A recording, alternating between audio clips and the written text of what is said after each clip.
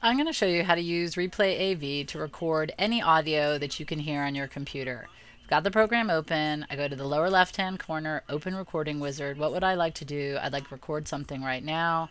What would you like to do? I'd like to record the audio I'm hearing now. Now I'm assuming that I'm, you know, that you're playing audio.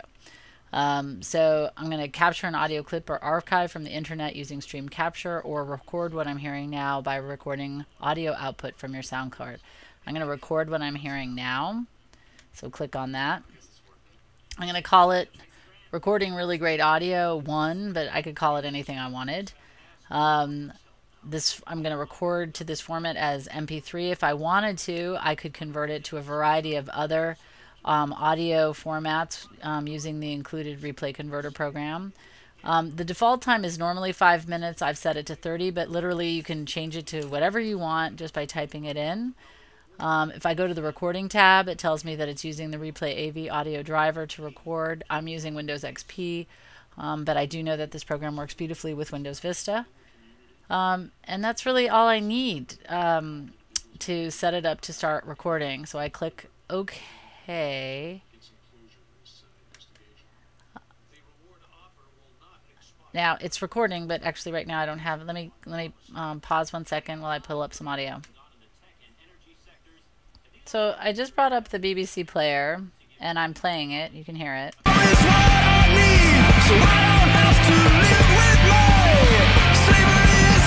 And Replay AV is recording it. I'm going to stop it, minimize it. Just left click, go to stop record download. Would I like to save the current recording? Yes. Left click again, play last recording. Finest bands. They are in session from Maida Vale tonight. That's exciting news. And there it is. It's that easy. It's all there is to it. It's very easy to figure out. Just follow these steps and you'll be able to record literally any audio that you can hear on your computer. I hope you have fun checking it out.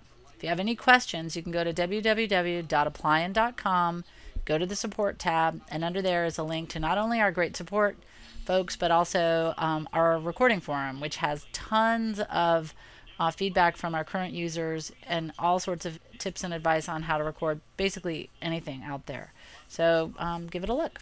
Enjoy.